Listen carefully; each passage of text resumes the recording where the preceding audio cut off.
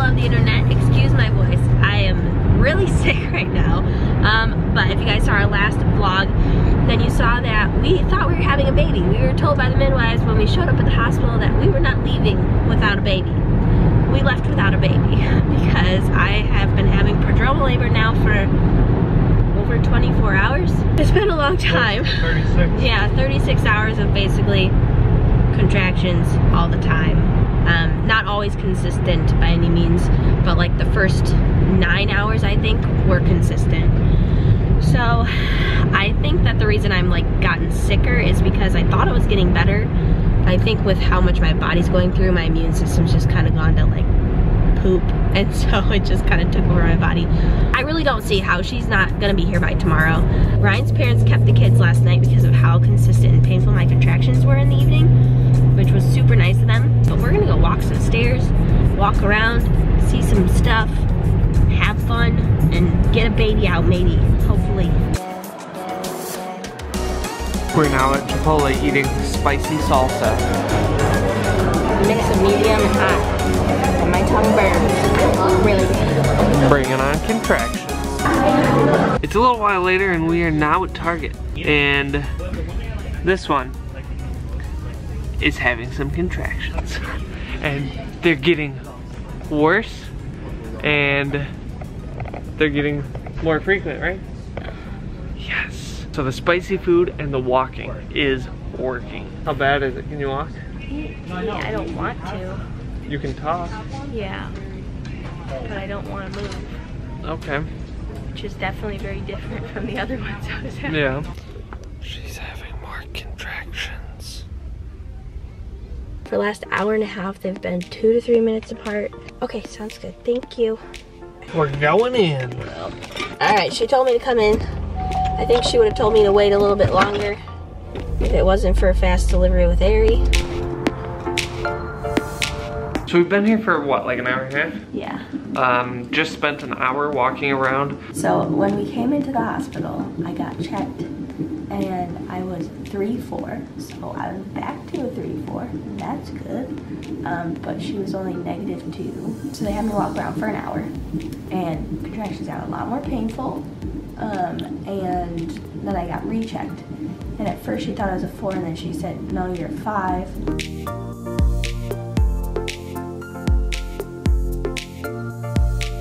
We're officially admitted and we're giving ourselves a little bit of a time frame because my body doesn't 100% want to do it itself. But I am at five centimeters, which is great.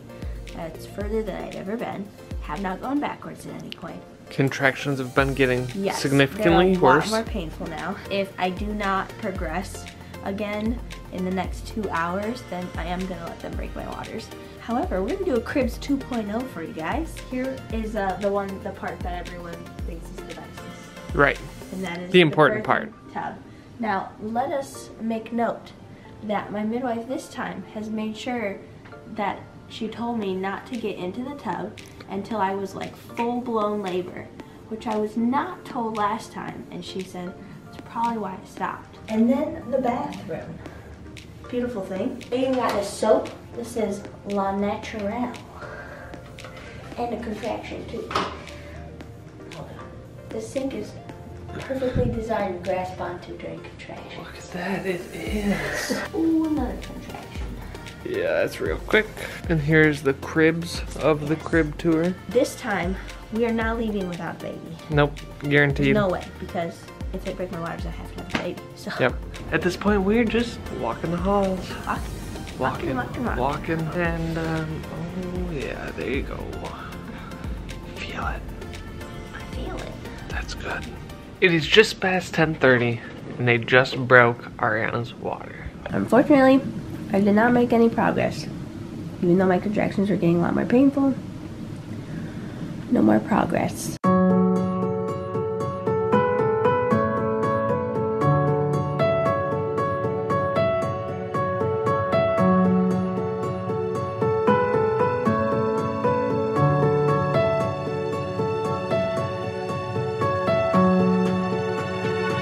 It's getting a lot more painful for her. So that's a good thing. that's what we were hoping for. Hopefully, uh, it's progressing down there the way it seems to be progressing uh, based on what we see up here.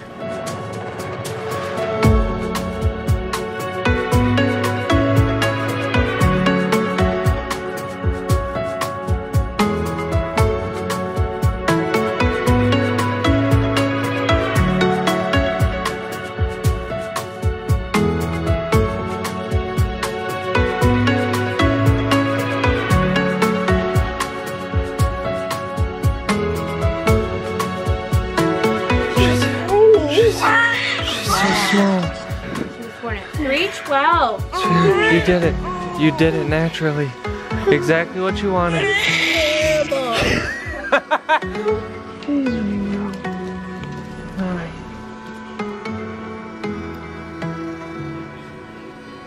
We'll talk more about it later, but long story short, we almost went with the epidural and Pitocin, but Arianna came in last minute and did it naturally. Did you want to say what she weighed? Seven pounds and 15 ounces. So by far the smallest child yet. There she is.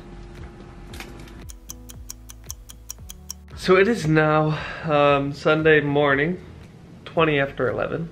Hours and hours. Hours. and hours, Hours, yes. This little one has been getting fed and just getting used to life outside the womb. Delivery did not go. I mean, it went as planned, but it didn't go as planned. about right around 1 o'clock a.m. I think. After they broke her water, she'd been getting more contractions and everything had been seemingly progressing at that point. Yeah, because they checked her. contractions were a lot more painful. Yeah, they checked her again and she was still at 5 centimeters, just Yeah. like she was basically earlier when they, they decided Yeah. to admit us. It was getting to the point where it was like I was exhausted because it was Mhm. like three days of basically contractions nonstop.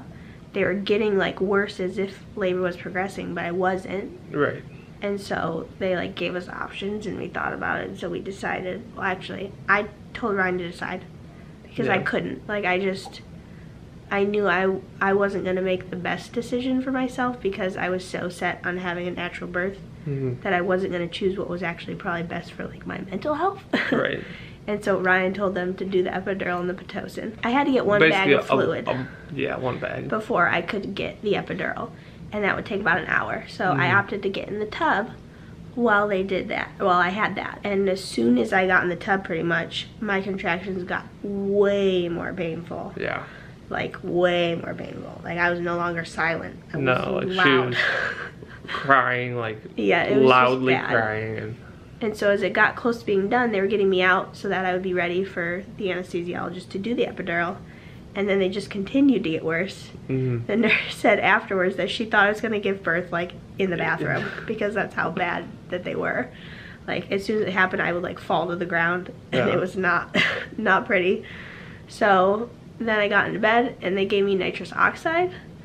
Um, checked me, and I was seven eight. That was after an hour in the tub. So this was Yeah. she got out of the tub about um 2:40 a.m. Yeah. And so then she calls the doctor and everyone in and or the midwife and the midwife gets in. She checks me. She's like she's not quite ready yet, but it must have happened in like I mean, within a minute or so Yeah. that it went to being ready. And then I was being told to push.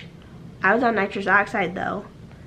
And like the whole thing, I feel like I had like let my guard down trying to deal with the natural contractions because as soon as I knew like Pitocin and epidural was coming, I was just like, it's gonna okay, be it's easy. coming, it's it'll be, be easy. easier. Yeah. So then like I was just out of that mindset and I just could not I could not handle it.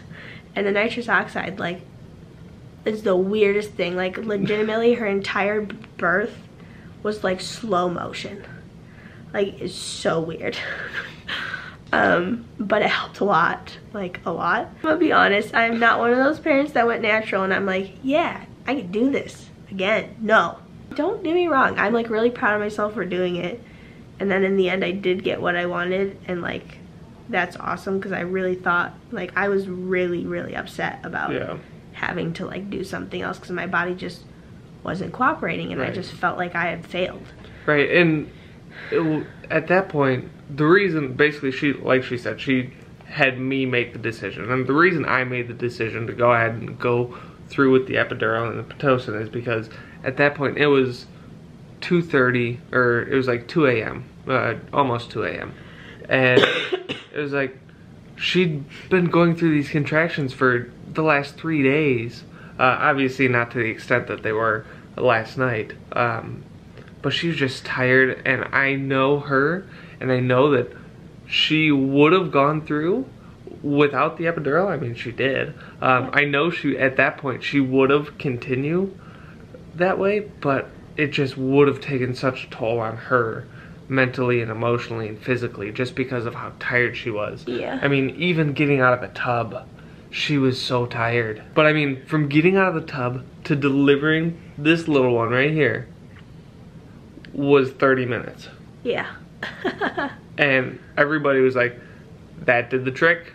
Yeah. You know, They're just- like, we should have just brought up Pitocin epidural and got you in the tub earlier. I got a natural birth. Yep. I did not feel did as it. good as I did after Ari. I had the realization that with Ari, that epidural was still doing something. was doing something. Yeah. Even if I like felt a lot of the contractions, I didn't feel her coming out with her. Mm-mm. Felt it all. But she's super cute. Yeah, she, Yeah, she looks just like the others. And she's tiny. So she weighed 7 pounds, 15 ounces. She was 20 and a half? 20 and a half inches long. Yeah, inches long. Born and- at 3.12 a.m. So she is our smallest baby. Whenever we say like she's so tiny, the nurses are like, she's really not tiny. And then when we mentioned that our kids were 8, 11, and 8, 10, they're like, oh, Yep. Yeah. In that case, she's, tiny. small. We're just happy that she's here, safe and sound. I'm in good health. She's in good health. We're all doing good. Despite it being slightly traumatizing for me. And I'm so glad this is my last baby. So glad. um, I'm I, in the end like I'm really happy that I was able to. Don't get me wrong, like that's what I wanted and I'm glad that I did. But I'm not gonna be like it was amazing. I know for some women it's totally fine for them, but I think a big thing was that I let my guard down Yeah. after I And you knew were an expecting to. And, yeah, I didn't expect to all of a sudden get in the tub and progress and go through transition all in less than an hour. Yeah. Like obviously I was not expecting that to happen. Because, yeah, it was essentially an hour and a half from when we made the decision when you were stuck at five centimeters to she was here. she was here. Yeah. No, we're gonna end it here because the girls are gonna be here soon, so we're gonna make it a separate video of them seeing their little sister for the first time. Yeah, my mom sent us a message and said, Ari just keeps saying she wants to see her baby sister. I'm so glad she's Yes. come around the last month or two. Yeah. Rev is so excited to hold her. Oh, yeah. So it's gonna It's gonna be so cute. So make sure you guys come back on Thursday to see all that cute footage. We hope you guys enjoyed this. Hit that thumbs up. Hit that subscribe button if you're new. And as always, we'll see your wonderful faces on Thursday. Bye.